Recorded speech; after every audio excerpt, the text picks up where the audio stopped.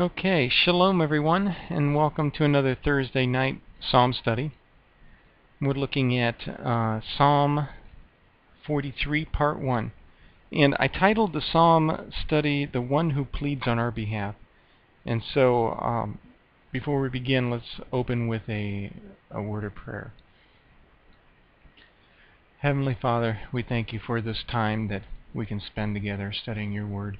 And Lord, the reason we're here tonight is because we love you and we love your word, Lord, and we want to grow closer to you and uh, and how um, just to get to know you better, Lord. We ask that you would uh, speak to our hearts tonight and that you would uh, help us to walk according to your ways. we pray all these things in Yeshua's name. Amen. Okay. So uh, tonight's study is on Psalm 43, and uh, shalom, everyone. I'm, I'm glad everyone could be here tonight and uh, I, I, posted the link. Let me post that again. And at matsati.com website. And so let me read through the psalm. This is a really short psalm this week, and then we'll get started here. In Psalm 43, there are five verses. And it says, Vindicate me, O God, and plead my case against an ungodly nation. O deliver me from the deceitful and unjust man. For why have you rejected, or sorry, for, for you are the God of my strength. Why have you rejected me? Why do I go mourning because of the oppression of the enemy? O send out your light and your truth. Let them lead me. Let them bring me to your holy hill and to your dwelling places. Then I will go to the altar of God, to God my exceeding joy, and upon the lyre I shall praise you, O God my God. Why are you in despair, O my soul? And why are you disturbed within me? Hope in God, for I shall again praise him, the help of my countenance and my God. And uh, that was for from the New American Standard Bible. And so, this week's study, there are uh, five verses in the Psalm, Psalm 43. And the Psalm opens and it says, Vindicate me, O God, and I plead my case against an ungodly nation. O deliver me from the deceitful and unjust man. And when I was reading through this in the Hebrew Bible, I, re- I read uh, it said Shaftani Elohim Veriva Rivi Migoi, and what caught my attention was this this word Riva Rivi, and and so I, I thought to talk about this a little in a little more detail here. And the Aramaic Targum it states that the it states that judge me, O Lord, with true judgment for you are to argue my case with a people that is not righteous. From the deceitful and oppressive man you will save me. And then the Septuagint, the Greek translation, it says, A psalm of David, Judge me, O God, and plead my cause against an ungodly nation. Deliver me from the unjust and crafty man. And so each translation, the, the Hebrew, the Aramaic, and the, the Greek, they, they seem to be in agreement here uh, with one another. And when reading the Hebrew text, it's written using the word shaftani in in the New American Standard Bible, they translate this as vindicate.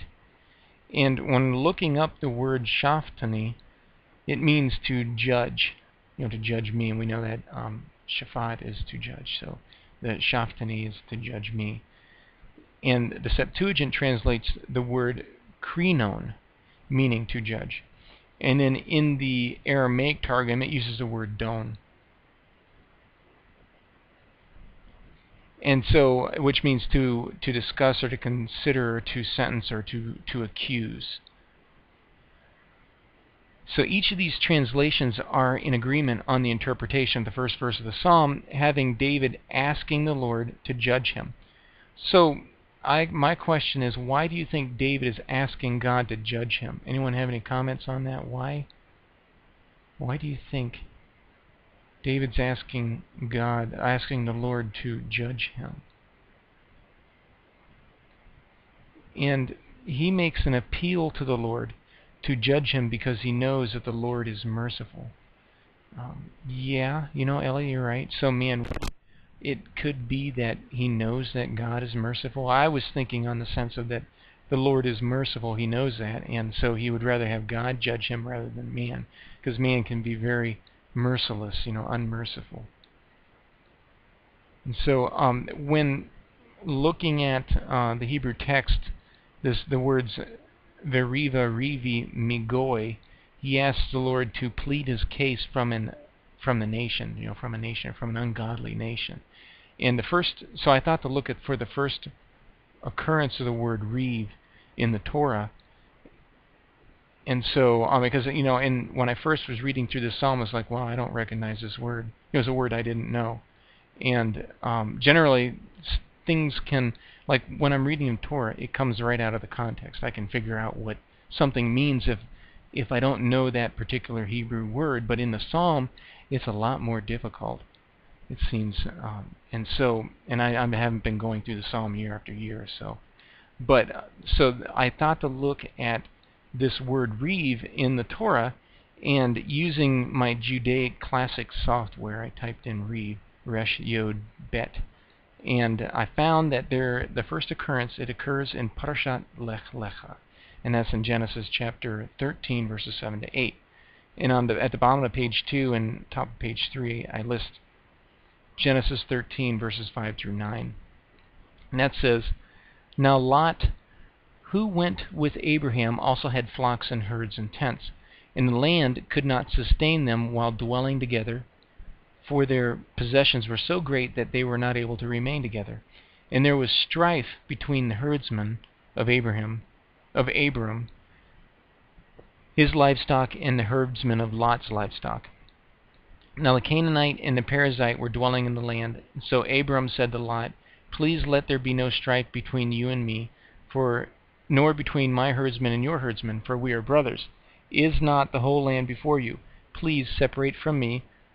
If to the left, then I will go to the right, and if to the right, I will go to the left. Okay, so we look at the the Hebrew text for from the Torah in Genesis chapter 13, and we find that this word reeve, it's translated as strife or to strive. And so, based upon the Torah, the men of Abram, I wrote Abraham in here, but you know Abram at the time his name wasn't changed yet, and Lot, they were, the, their men were quarreling over the land for their cattle, and the text says that they were striving together or arguing with one another. You know who gets what part of the land, and so in this sense, it may be that David is asking the Lord to strive for his case, to argue on his behalf in the presence of the nations. Note that this is an ungodly nation. The Hebrew Scriptures, and when uh, we look at the the uh, let's see the Aramaic text, it says it comes from a not a righteous people. And in the, the New American Standard Bible, it says it comes from an ungodly nation. But in the in the scriptures here, it just says migoi, you know, from the nations, and it's just generally understood, I suppose, to be translated as um, being an ungodly nation because the nations were ungodly as compared to Israel. And so um, David's asking for the Lord to plead and to strive for his case in the presence of an ungodly nation. And the Hebrew simply states a negative term. It says that lo hasid, that meaning that not righteous or not pious. And it's important to note that the word uh, hasid is from the root word hesed, hesed, meaning grace or loving kindness. So David's understanding on the deliverance of the Lord is rooted within a covenant context. And a nation he is asking the Lord to argue on his behalf against is an, against an ungodly and wicked nation, one that is not in a covenant relationship with the Lord. Now, David asks the Lord to deliver him from this ungodly nation, and that nation is. And so, you know, what nation is he referring to? And we we might consider the following references from Parshiot, Beshalach, Shoftim, and Kitetzi. And um, Parashat Beshalach is from Exodus 13 to 17. Uh, Shoftim is from Deuteronomy 16 to 21, and Kitetzi is from Deuteronomy 21 to 25. And so on page 3 and 4, I list the section of verses we will look at out of these parshas. Uh, from Exodus 17, verses 5 through 7, it says, Then the Lord said to Moses, Pass before the people, and take with you some of the elders of Israel, and take in your hand your staff, which you struck the Nile, and go. Behold, I will stand before you there on the rock at Horeb, and you shall strike the, wa- the rock, and water will come out of it, that the people may drink.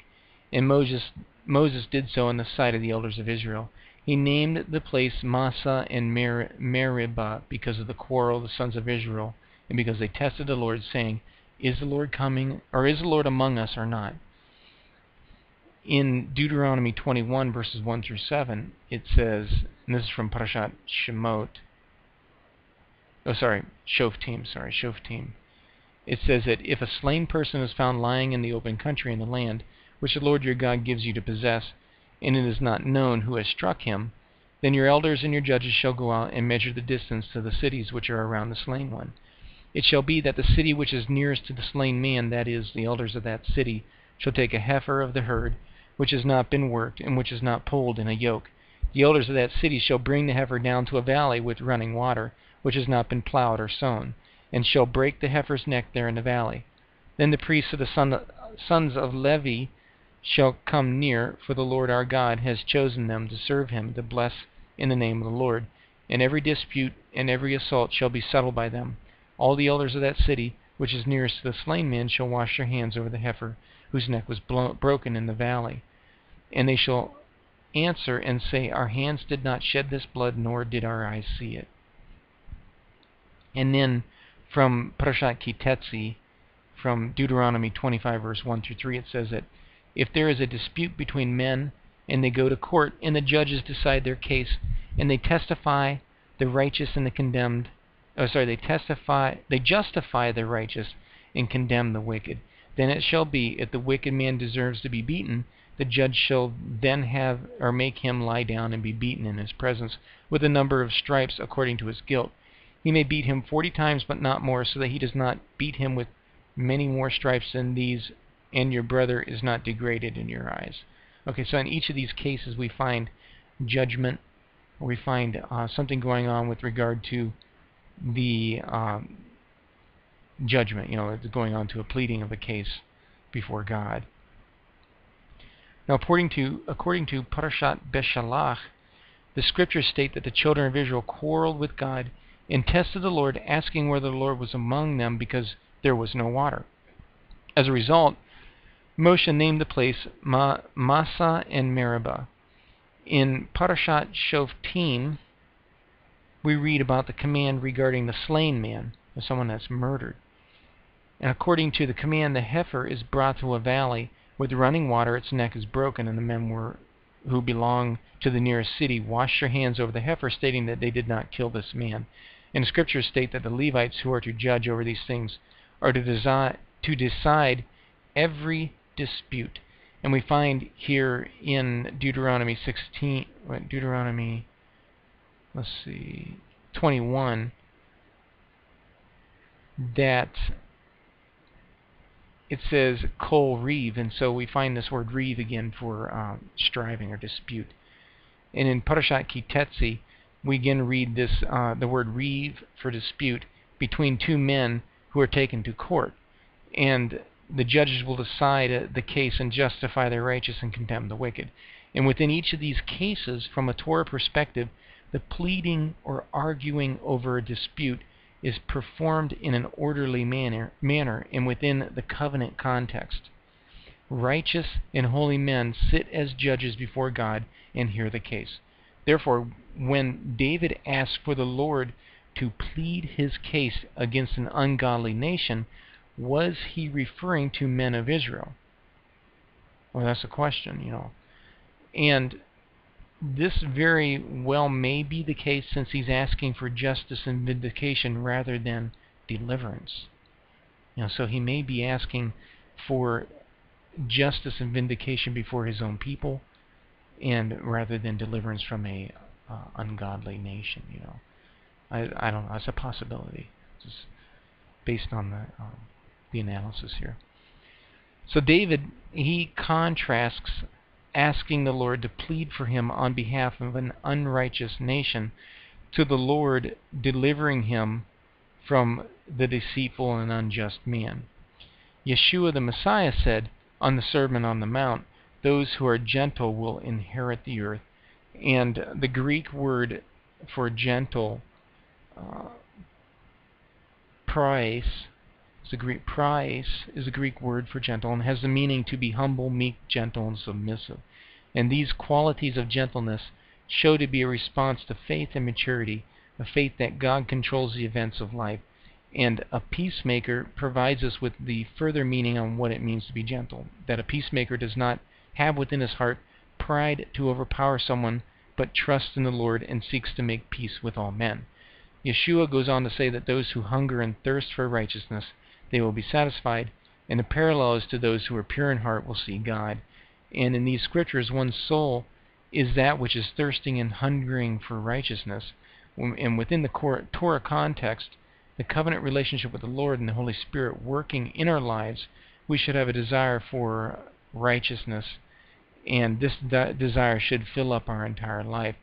And just as we seek to find food and drink for our bodies in this world, we also should have a desire to seek after righteousness to give food and drink to our souls.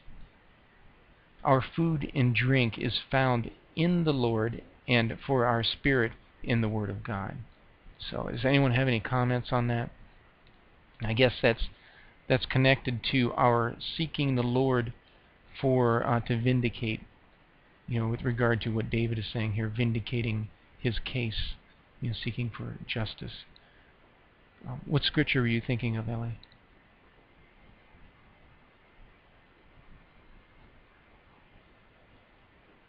Do you know it off offhand?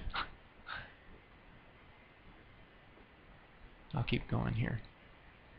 Okay, so David, he indicates. Um, okay, says that the kingdom of God is not meat and drink, but righteousness and peace in the Ruach. Yep. Yeah, I agree. That's um, somewhere in Romans, you know. I don't know offhand.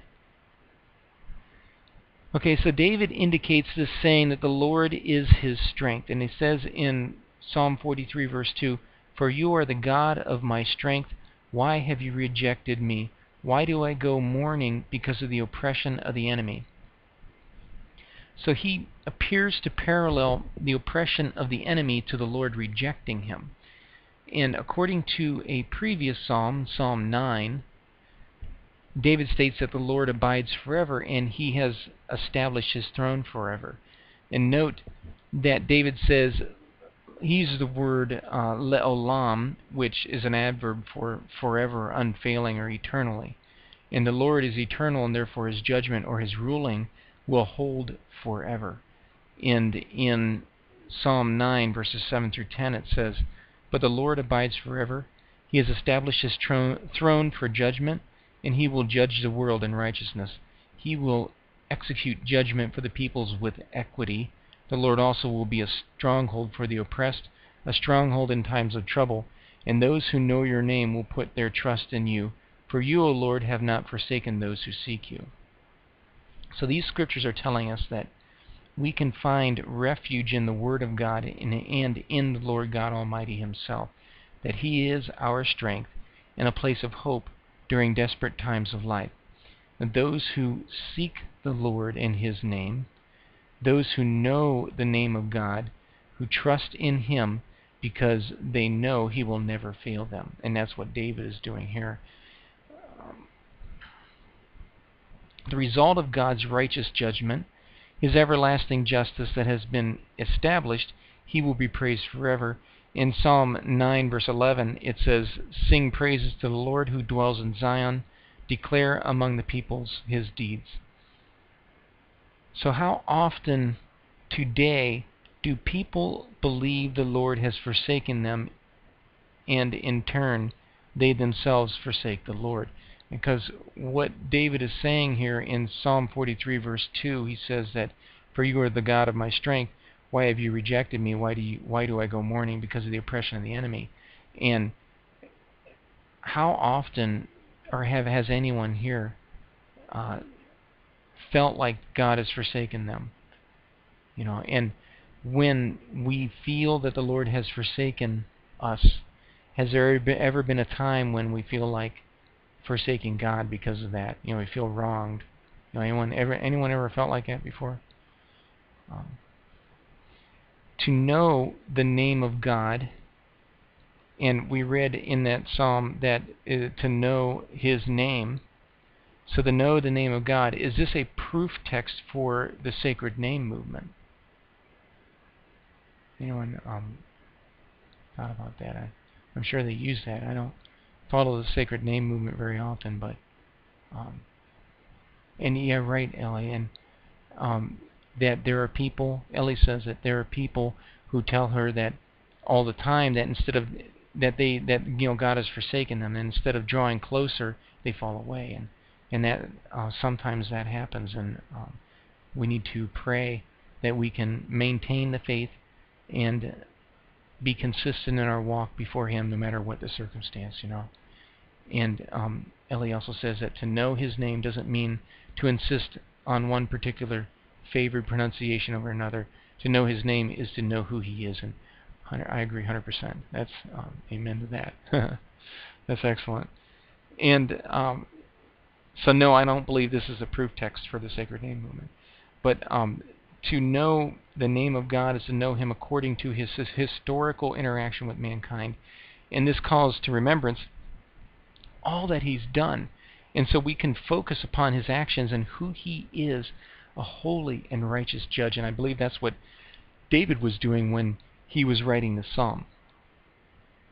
So today, we can call on the memory how the Lord has worked not only in Scripture and the lives of the men of faith we find in the scriptures, but also in our own lives, including that which is um, oh, written in the scriptures. I guess I, I didn't read ahead there, but uh, I just repeated that. but yeah, I, we can we can look at our own lives and look back on our lives, and I can look back on my life and see how the Lord has kept me from sin and protected me and, and kept me whole and, and brought me through the hard times and, and brought blessing into my life. You know, it's um, it's amazing. Let's see. All who know the Lord in this sense will put their trust in Him because He is actively working in the life of the believer. And a person may have a sense of being forsaken, like David is saying here in Psalms 43, verse 2, or even in Psalm 22, verse 1, where um, the Messiah quoted this on the cross, Eli, Eli, lama sabachthani, you know, why, my God, why, my God, why have you forsaken me? But he has never forsaken us, you know. And this is implied in Psalm 37, verse 28, that the Lord forsaketh not his saints, and they are preserved forever. Now, the Aramaic Targum, it says on Psalm 43, verse 2, it says, For you are God, my strength. Why have you abandoned me? Why do I go about in gloom at the oppression of the enemy? And then the Septuagint states, For thou, O God, art my strength, wherefore hast thou cast me off? And why do I go sad of countenance while the enemy oppresses me? And um, Ellie says that sometimes he withdraws his tangible presence to teach us to walk closer by faith. And you know that is an excellent perspective. That is that's a, that is a very good perspective. I agree.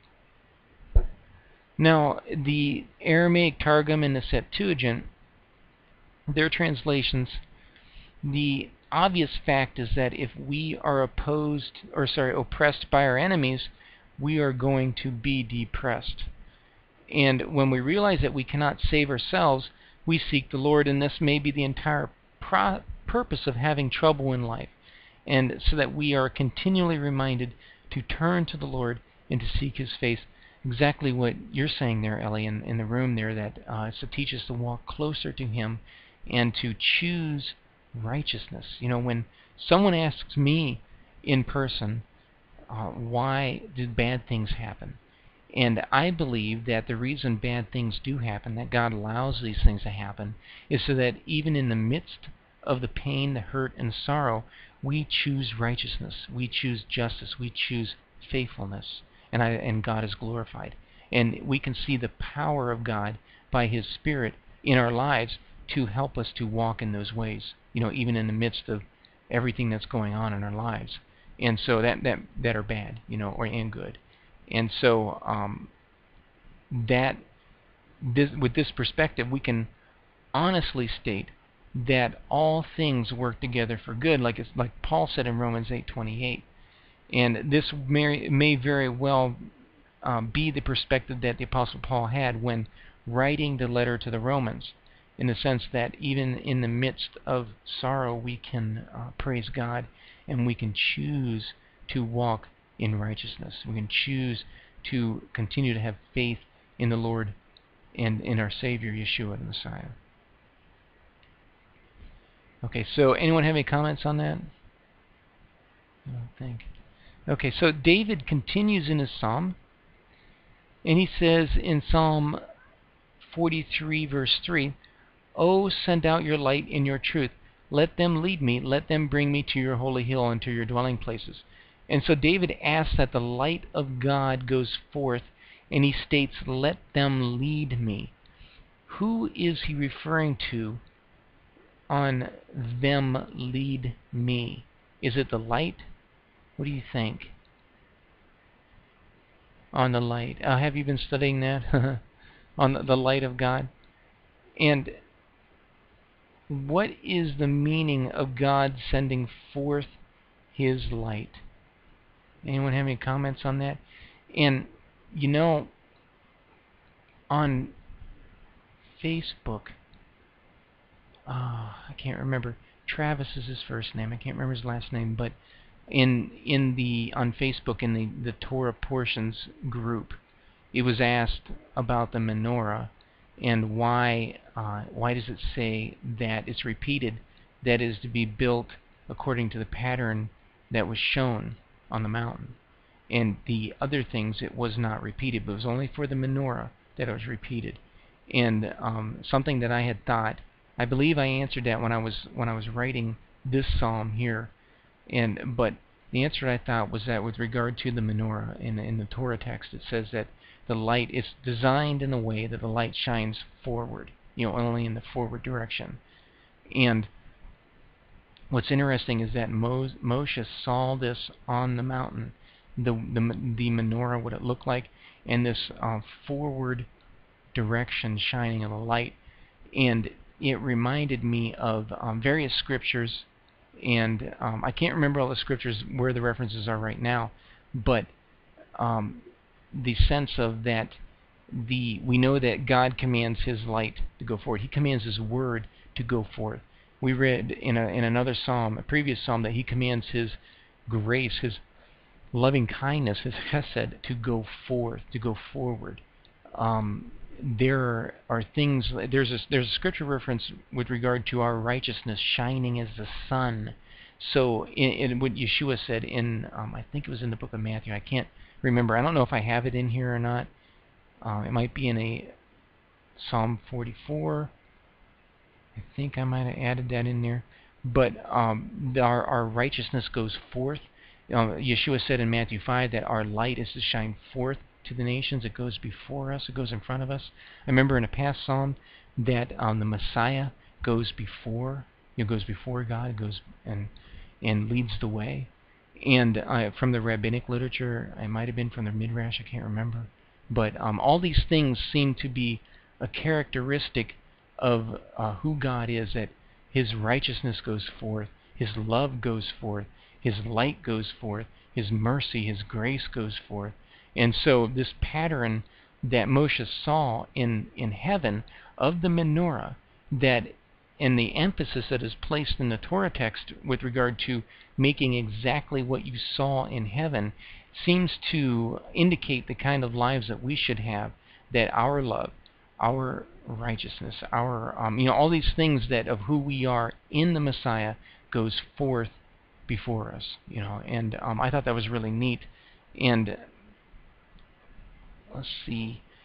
Minister Althea says that the light of, the Torah, light and lamp, the entrance of the Torah brings light. And um, yeah, yeah. And so, and Ellie says light is Torah. Okay. And so, um, in the study on page 5, we might gain a little bit of insight into this based upon what the prophet Isaiah said in Isaiah 58.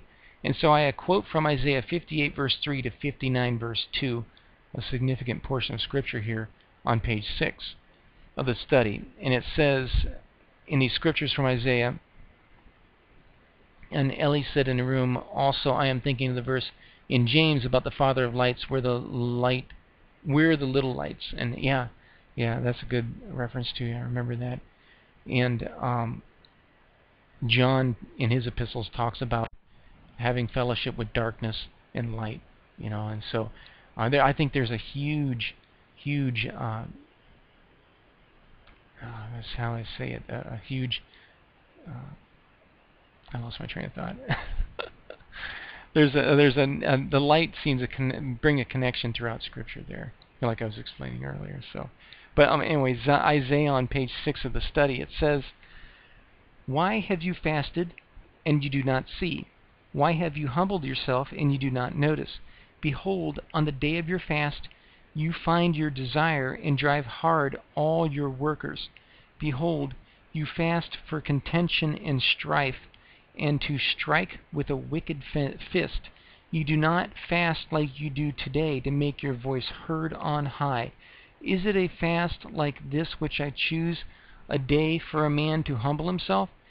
Is it for bowing one's head like a reed, and for spreading out sackcloth and ashes as a bed? Will you call this a fast, even an acceptable day to the Lord? Is this not the fast which I choose, to loosen the bonds of wickedness, to undo the bands of the yoke, and to let the oppressed go free, and break every yoke? Is it not to divide your bread with the hungry, and to bring the homeless poor into the house? When you see the naked, to cover him, and not to hide yourself from your own flesh. When your light will break out like the dawn, and your recovery will speedily spring forth, and your righteousness will go before you. The glory of the Lord will be your rear guard. Then you will call, and the Lord will answer. You will cry, and he will say, Here I am. If you remove the yoke from your midst, the pointing of the finger, speaking wit and speaking wickedness, and if you give yourself to the hungry and satisfy the desire of the afflicted, then your light will shine in darkness, and your gloom will become like midday. And the Lord will continually guide you and satisfy your desire in scorched places, and give strength to your bones, and you will be like a watered garden, and like a spring of water whose waters do not fail. Those from among you will rebuild, rebuild the ancient ruins. You will rise up the age old foundations, and you will be called the repairer of the breach, the restorer of the streets in which to dwell.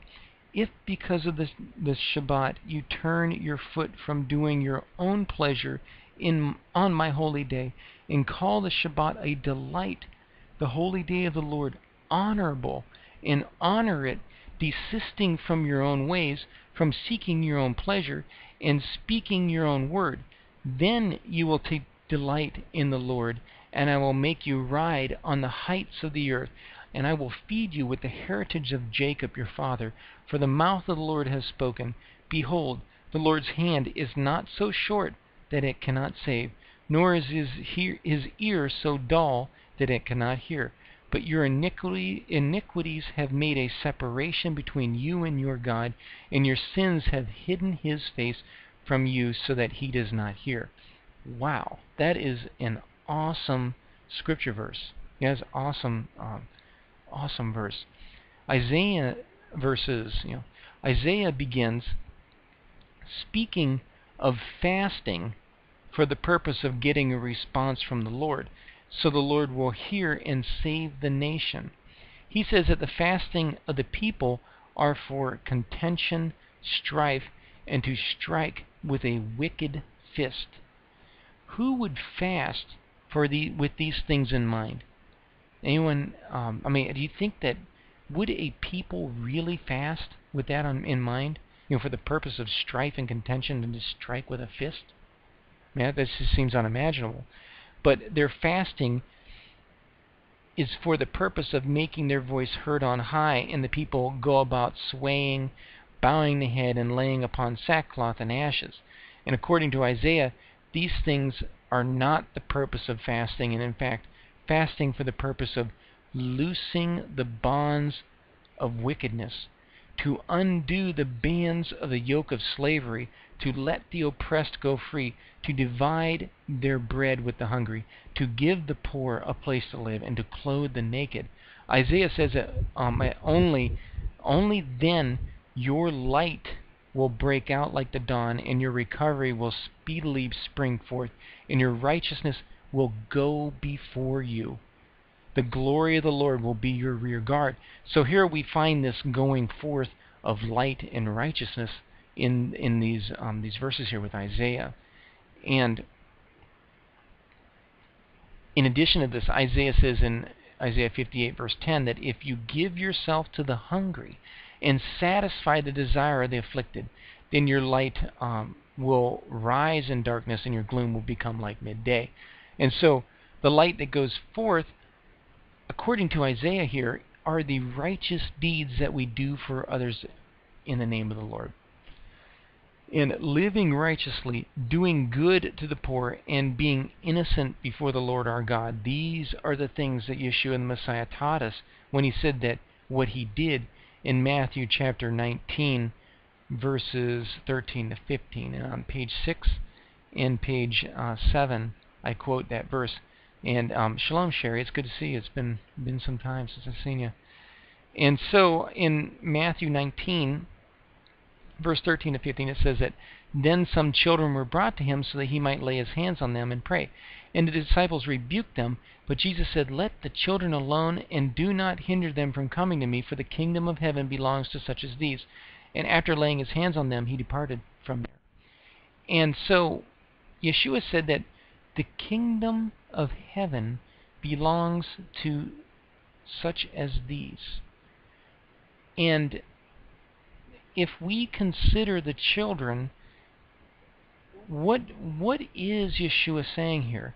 And I remember talking with someone regarding uh, this was a few months back, and I was talking with someone regarding uh, the teaching ministry that I have here in the Psalms, and they asked that you know where is the fruit? Where's the fruit? You know, and um, I I one one thing I I talked about was with regard to um, turning someone to righteousness. And my goal, I guess, when studying these scriptures is to draw nearer to the Lord. And so we're looking at how we can deepen our faith and we can grow closer, and how we can um, we can um, understand who we are in Christ. And it's about maturity and growing in our faith.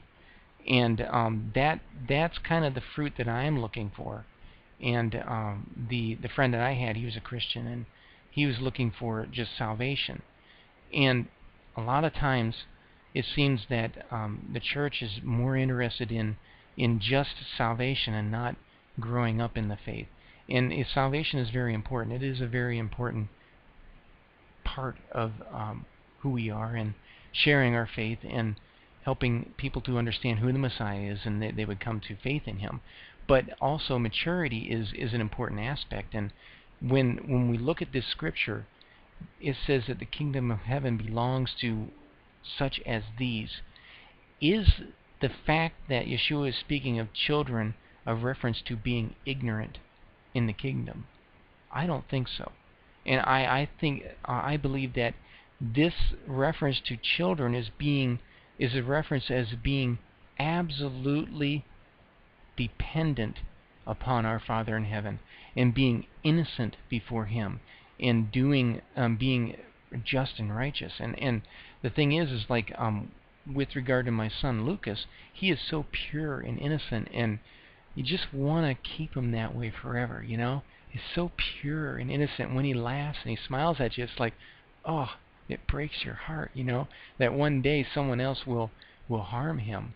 It may may harm him in the future, you know, and you want to you just want to protect him. You know, I I do. I and and so but um when when we consider this verse in Matthew 19 that when Yeshua said the heaven the the kingdom of heaven belongs to such as these these children that um he's I feel he's referring to children in a sense of being innocent and completely and absolutely dependent upon um, the parents for food.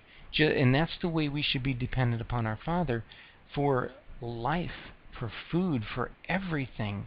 You know, and and even in our understanding of Scripture, our faith, you know, everything that we're depending upon Him and His Spirit and the empowering of His Spirit for our lives, you know, walk before Him.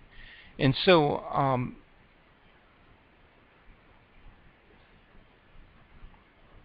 where was I in the study? Um, when when considering children and their dependence on their parents for life, food, clothes, even being taught what is read, you know, we seek the Lord for His help to for truth, you know, and um, and, in Ellie says that when we get older, we want to depend on ourselves, trying to my, make life work on our own, where we need to all we need to realize that we need to depend on God because He is the one who, you know, guides and directs us, right? Or at least we, we should be seeking Him so that He can He can guide and direct us. But um, we parents also they they give their children an understanding of who the Lord is, and uh, prayer teaches teaches them how to pray. Uh, having relationship with others, our interactions with other people, he learns. Their children will learn from that interaction, and um, how we deal with hard times and good times. Um, family, you know, interaction with family, and how to love one another, um, you know, etc. And for all intents and purposes, the baby is considered poor. Also, you know, we think of that in the sense from the verse from Isaiah, the um, an infant comes into life with nothing, you know, nothing on his back, just the skin, skin, you know, and everything. And so, um, became, because he is he would be considered poor because he came into this, into this world with nothing, and that we are to be in like manner. We are to be innocent, to take care of the poor, to, to provide for those who are in need. And the text in Isaiah concludes saying that, um, "Behold," in I chose the conclusion here in 59 verse 1 and 2. It says, Behold, the Lord's hand is not short that it cannot save, nor is his ear so dull that it cannot hear, but your iniquities have made a separation between you and your God, and your sins have hidden his face from you, so that he does not hear. So the light that David is speaking of in the psalm, he's asking the Lord to send forth his light and his truth.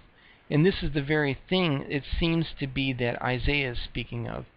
And David says, Let them bring me to your holy hill and to your dwelling places indicates that he's expecting the Lord to work in the hearts of his enemies. I, I felt that it may be that he to work in the hearts of his enemies, to be kind to the poor and innocent, which he in, probably considers himself among that group, and then brings him to the holy hill of the Lord.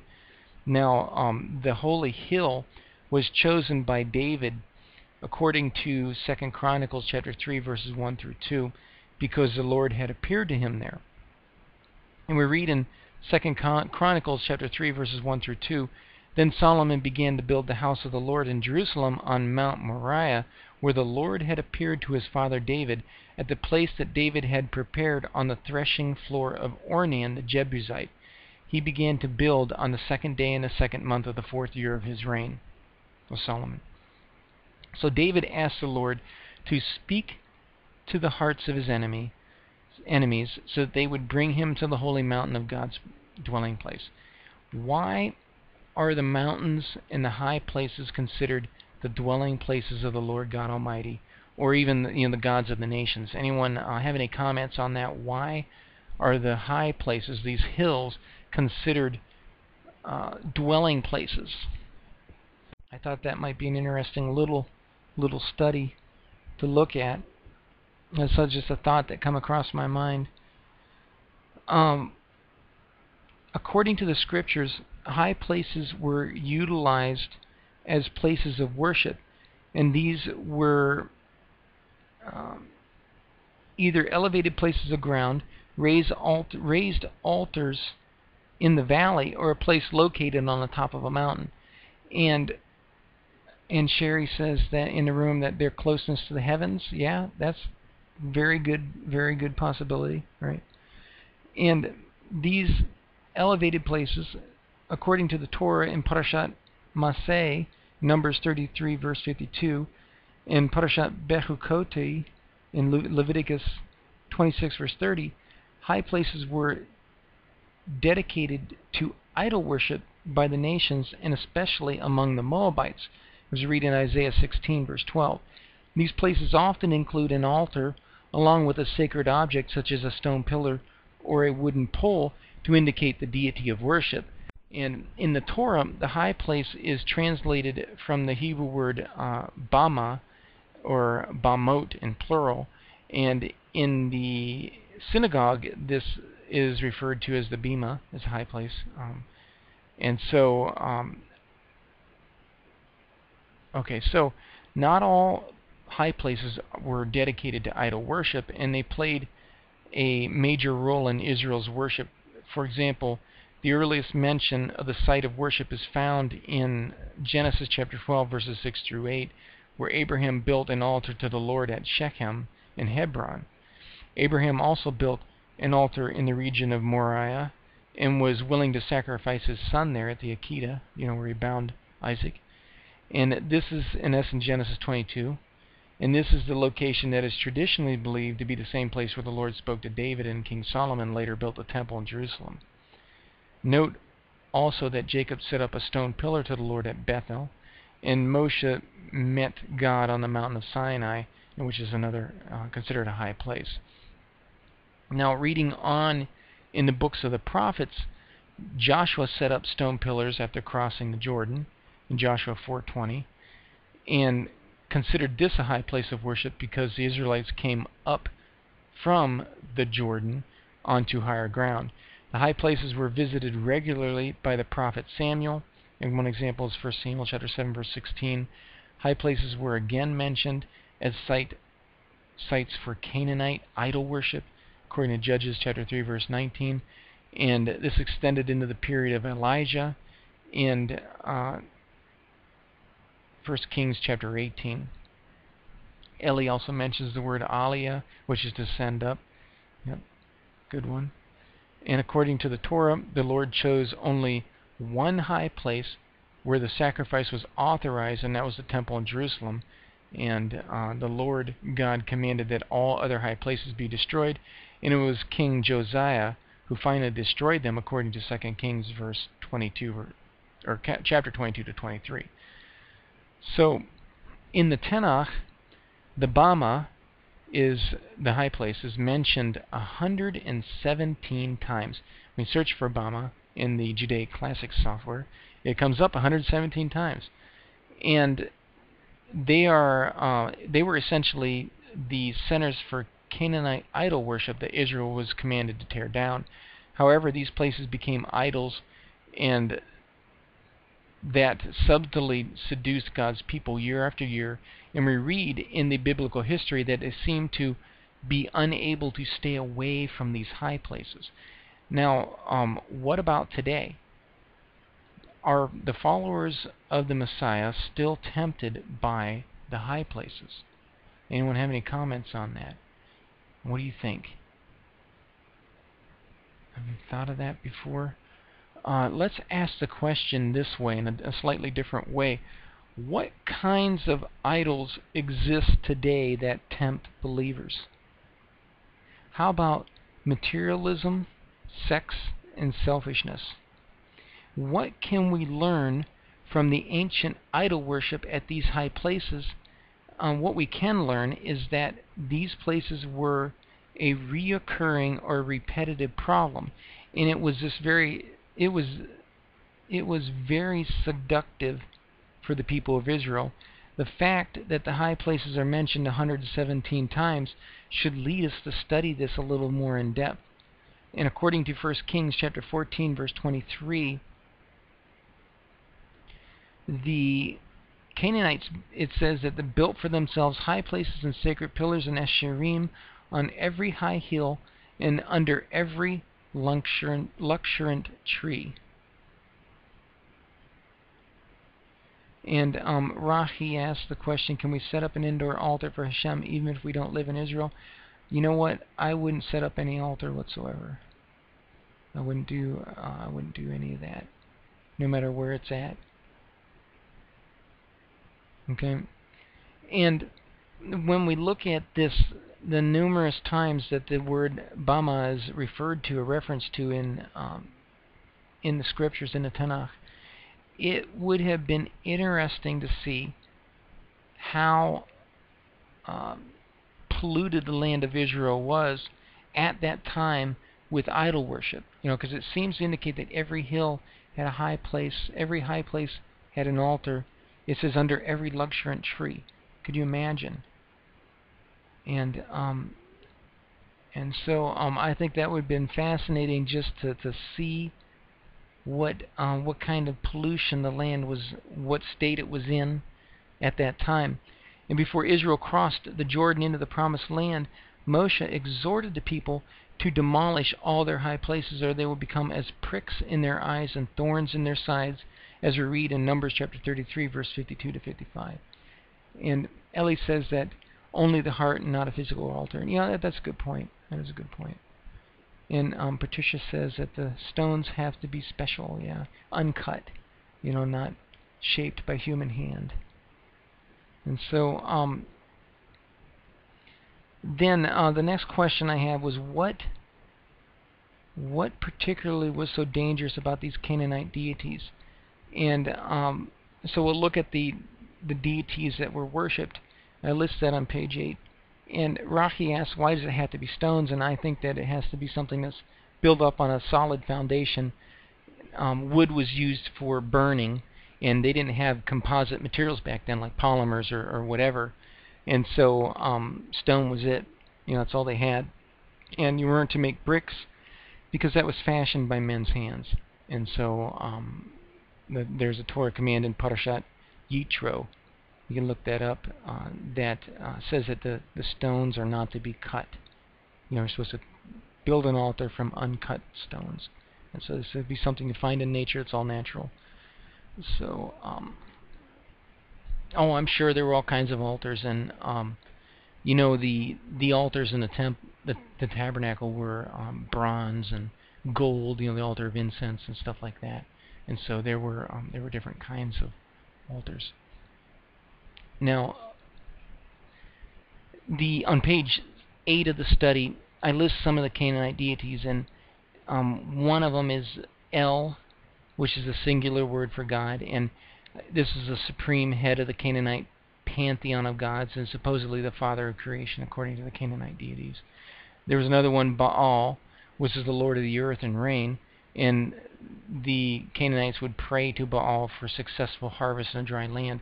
And so you see that um, that harvest and that harvest god, if you have a sense, that they would, um, you know, the Israelite people were an agricultural people, and so that there would be a draw there.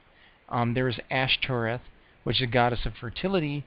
So the Canaanite farmers visited her shrines to mate with cult prostitutes to guarantee a fertile crop or fertile cattle. Uh, there was the god Dagon, which is the principal deity of the Philistines, Dagon, and we read that in Samuel, you know, the book of, the books of Samuel. And Dagon means grain in Hebrew and, and Ugarit.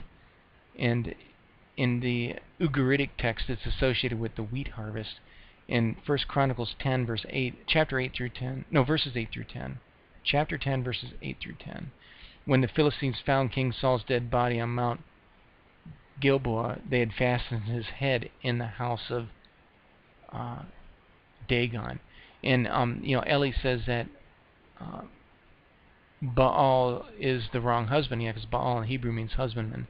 And um, you know, it's interesting that you got Molech, which is uh, from the word Malach for king. You got Baal, which is the word Baal for husband. And so you got these these false gods representing a false king and a, and a false husband. You know, I've never done a study on these these um, these things.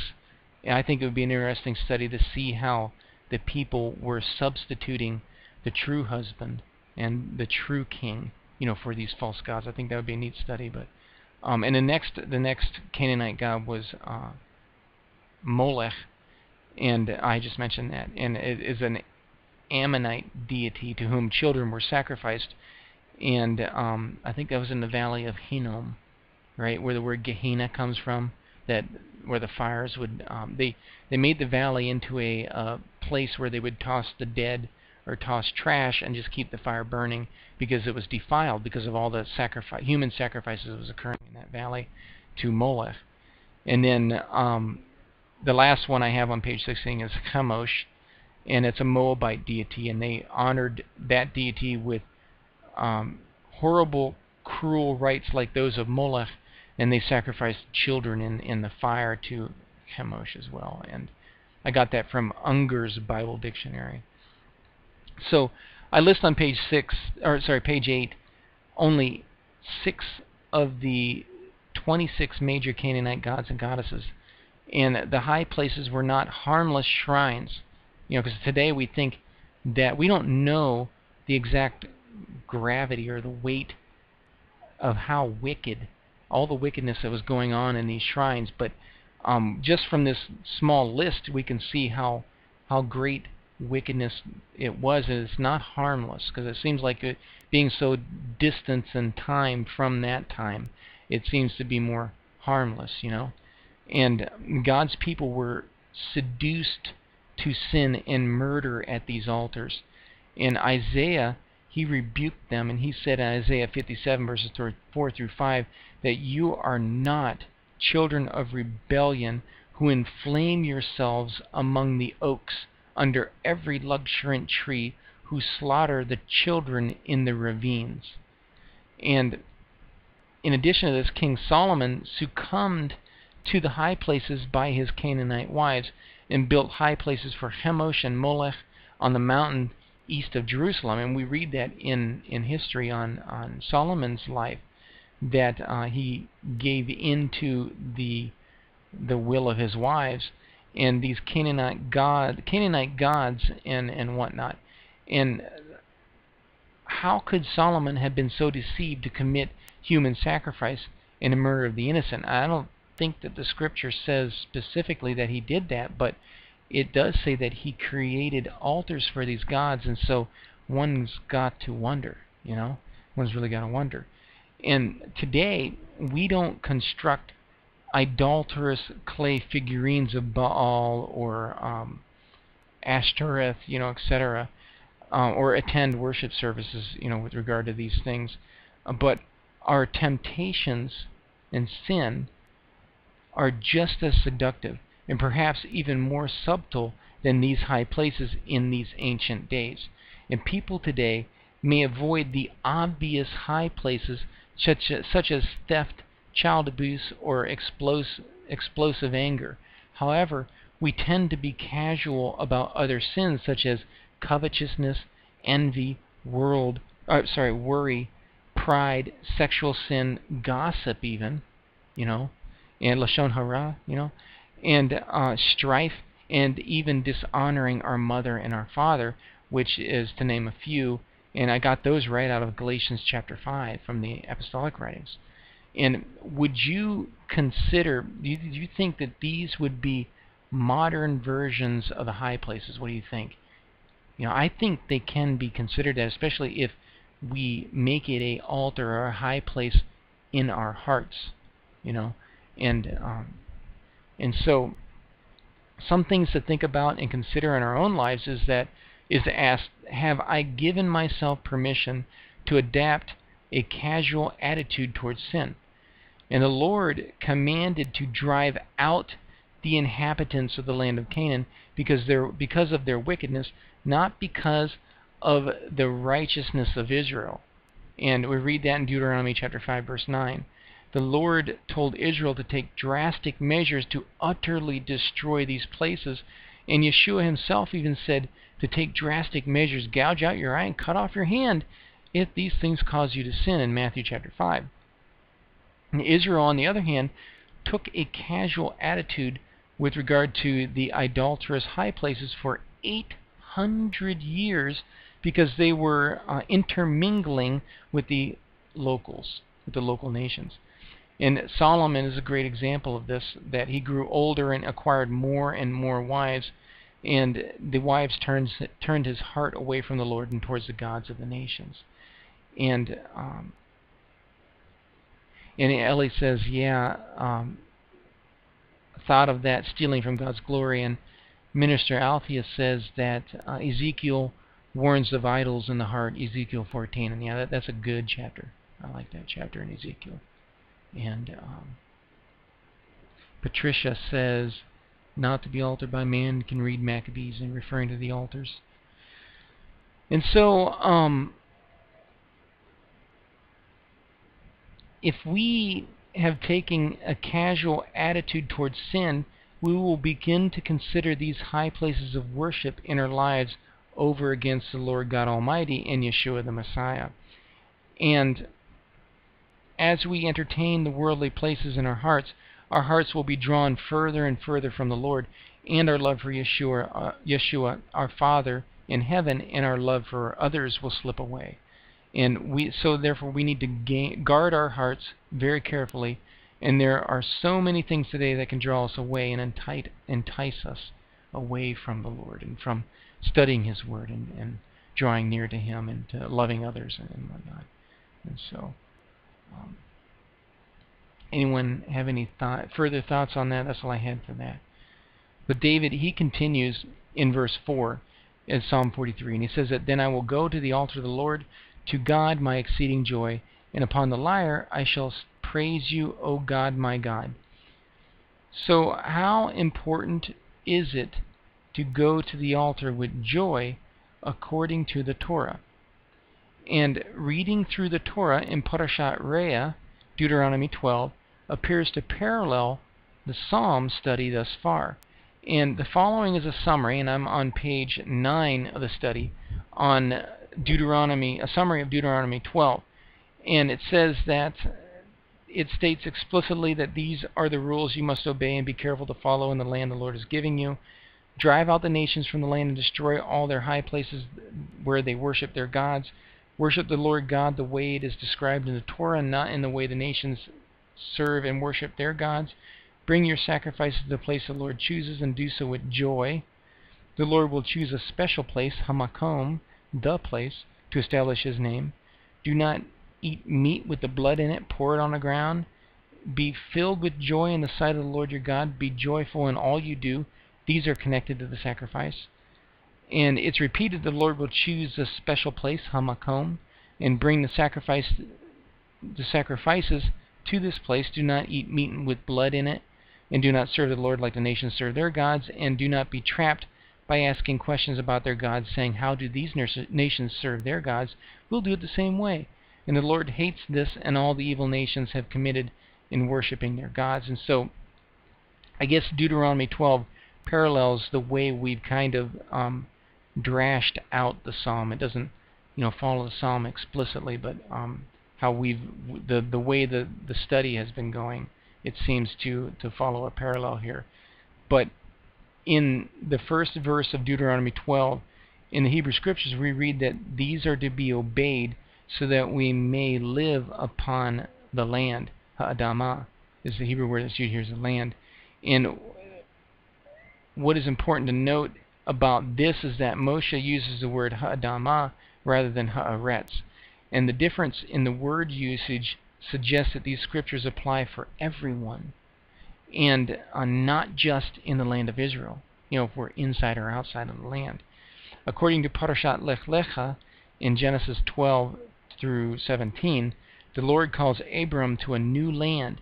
And in these scriptures, we learn that the Lord desires for us to be obedient to His call on our lives. And the Lord's God call, the Lord God calls on Abraham, Abraham's life was to go out from his land, from his father's house, and from his people, to a land that He will show him. And the Lord promises to bless Abram and to make him into a great nation, and that those who bless him, the Lord will bless, and those who curse him, the Lord will curse. And in, in God's call on Abram, we read that the Lord promises that the Lord promises in him all the families of the earth would be blessed. And in this text right here, we see in in the Hebrew that the word that's used is ha'adamah, and referring to earth, and it's used to indicate that all of the families of the earth will be blessed and not just those who are in the land of Israel. And the reason this word is used to indicate that all will be blessed and does and does not restrict a blessing to only those who are in the land of Israel. And the word Adama means ground based upon its use in Parashat Bereshit and was the reason the first man was named Adam because he was made from the ground.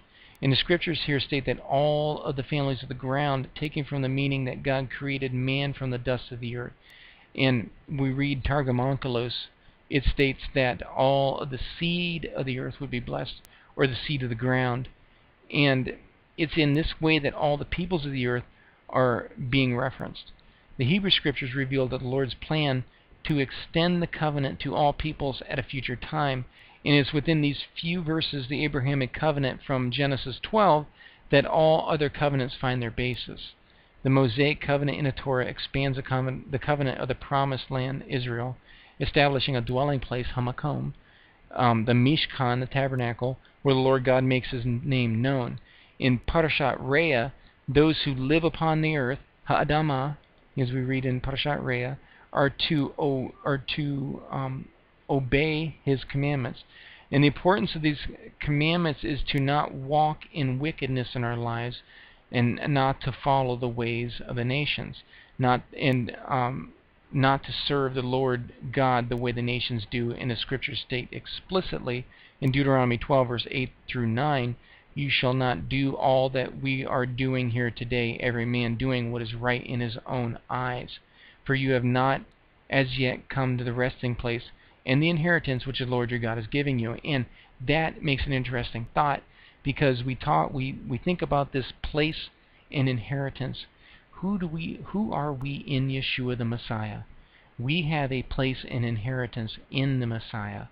So we are not to walk according to what we think is right in our own lives or in our own eyes.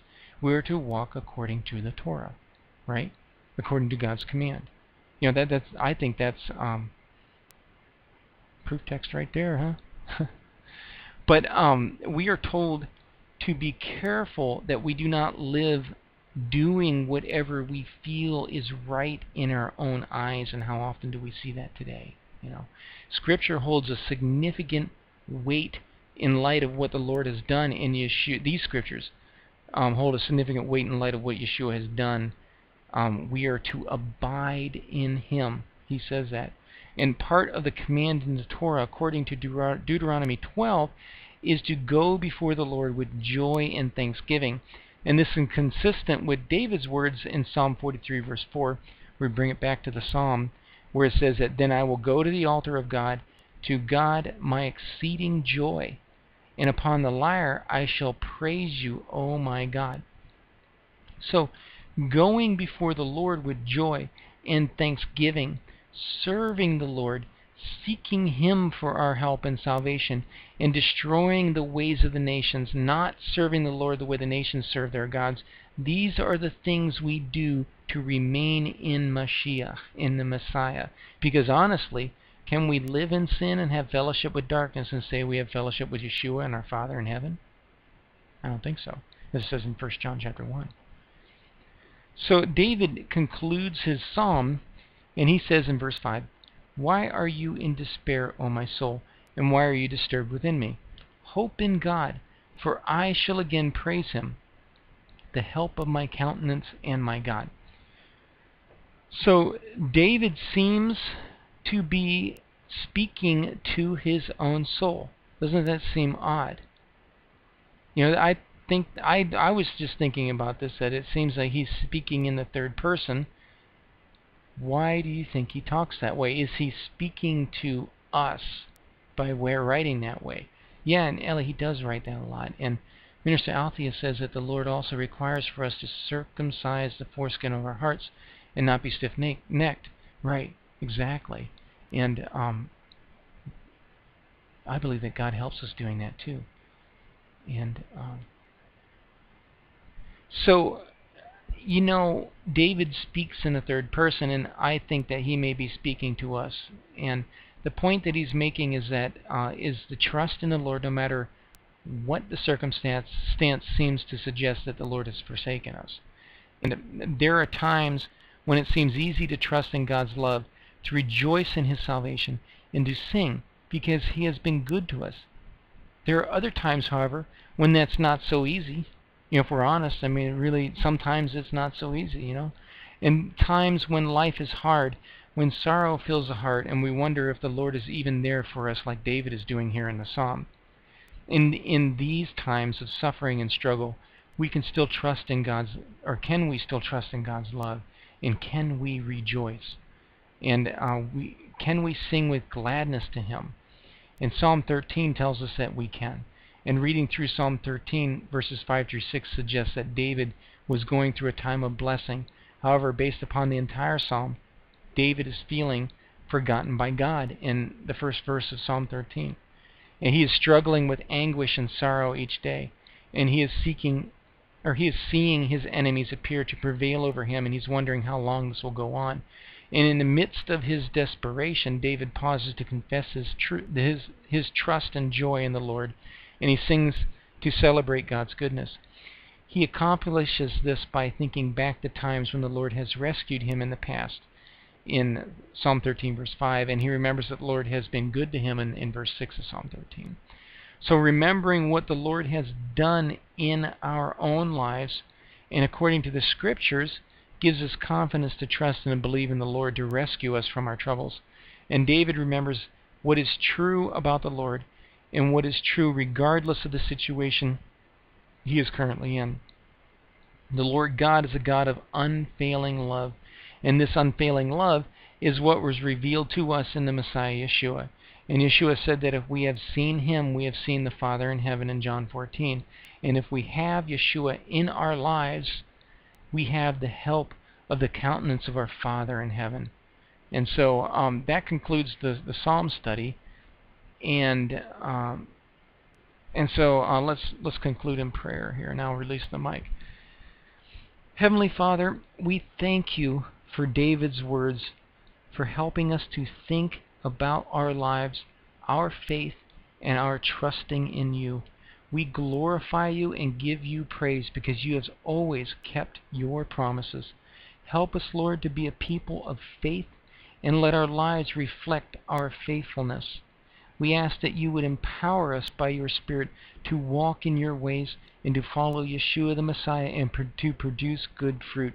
Help us to walk and abide in Christ as the scriptures say we are supposed to do in John chapter 14. Thank you, Lord, for sending your Son Yeshua that we may enter into the salvation that you have provided. We thank you for helping us to realize that observing the Torah is not a form of salvation by our own hands, but is the way in which we are to express our love for you. We thank you for helping us to grow in our faith and know who we are in the Messiah Yeshua. And Lord, we ask that you would help us to apply these truths to our lives. We praise your holy name and we give you all the honor and the glory and the praise forever and ever. Amen. In Yeshua's name we pray, Amen. Okay.